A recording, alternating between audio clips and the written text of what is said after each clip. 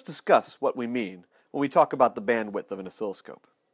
We often refer to bandwidth in the name, such as a 100 MHz oscilloscope. The bandwidth of a scope is more correctly called the minus 3 dB bandwidth. When a signal at this frequency is input to the instrument, the scope's reading would show 3 dB less than the actual signal on the input. A scope's traditional frequency response curve looks something like this. Here we mark the minus 3 dB point with a blue arrow. As you can see, the frequency response varies within the scope's operating range, but once the minus 3 dB point is hit, it will generally fall off quickly. Here we can see what amplitude different frequencies appear as, even though they are all the same actual amplitude. So the amplitude of the signal will vary by frequency, and this is included in the scope's specifications. But this is not the only way that the bandwidth affects a signal.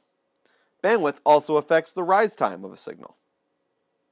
Rise time equals about 0.35 divided by the bandwidth. The rise time of a measurement is the square root of the sum of the rise time of the scope squared plus the rise time of the signal squared. To show this effect, we can look at a 50 MHz pulse on a 100 MHz and 500 MHz oscilloscope. First, let's look at the 100 MHz oscilloscope.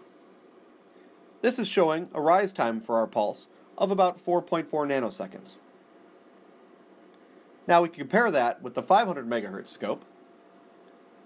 For the same signal, it's showing a rise time of about 3.3 nanoseconds. Because the higher speed scope gives more weight to the higher frequency components of the pulse, the rise time appears faster.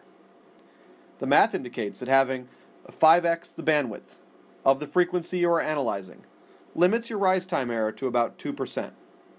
This is a good rule of thumb. Bandwidth is an important consideration in the error budget for your scope measurements. It impacts both amplitude and rise time. Use the 5x rule to keep your rise time error to about 2% as a best practice in signal analysis.